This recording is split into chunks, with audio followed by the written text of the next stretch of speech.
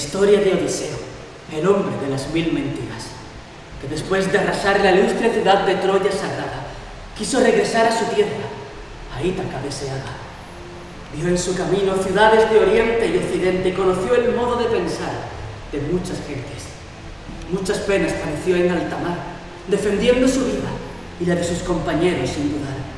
De esto, oh musa que inspira, cuéntanos parte ahora e ilumina con tu verdad que la mente ignora. Y con estos versos comienza mi historia, la historia de Grecia y de Europa, en definitiva, nuestra historia. Un aedo es un contador de historias y nosotros nos dedicamos a contar historias antiguas como un aedo, de ahí viene nuestro nombre. Estamos especializados en, hacer teatro greco-latino y en desarrollar un proyecto de investigación relacionado con, la mitología greco-latina y, y las nuevas dramaturgias. Y vamos a presentar nuestro nuevo estreno de La Odisea de Homero en el Teatro Romano de Valeo Claudia el 6 de agosto. No hay nada bajo el sol más pobre que vosotros, dioses. Os alimentáis de los alientos de las oraciones y viviríais en la miseria, si no fuera por los pobres y los mendigos llenos de temor.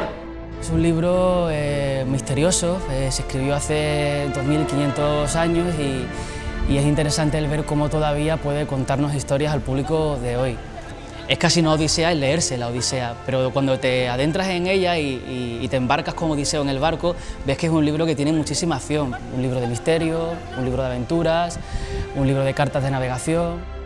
El mar se agita con dolores de parto, cada rayo que cae es una esperanza y todos juntos el futuro, pero el futuro ya se ha hecho presente. Zeus, ¿quieres conocer mi secreto? Este es mi secreto, no te escondas entre las nubes.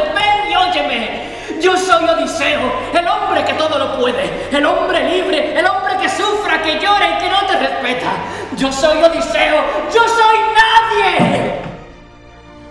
Con la Odisea eh, intentamos rescatar el, mito de, Odiseo, el mito del navegante que pierde la identidad.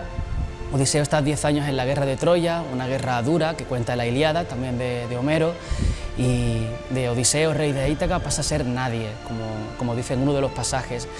Ese viaje de vuelta a casa es el viaje en el que él se vuelve a reconocer a sí mismo, eh, aprende a aceptarse como es y solo cuando deja de ser nadie vuelve a ser Odiseo, vuelve a su casa para, para reencontrarse de nuevo con su familia.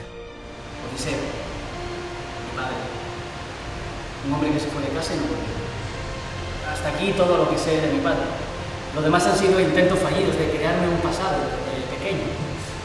¿Qué pasa con la familia del héroe cuando el héroe está viviendo una aventura? Cuando el héroe está viajando afuera, ¿qué ocurre con su hijo? ¿Qué ocurre con su mujer? Y esa es una parte en la que hemos basado nuestra, nuestra versión de la Odisea. Os regalo mi historia. Pueden cambiar mi nombre por el vuestro y, y así haremos que esa historia sea eterna y nunca morirá.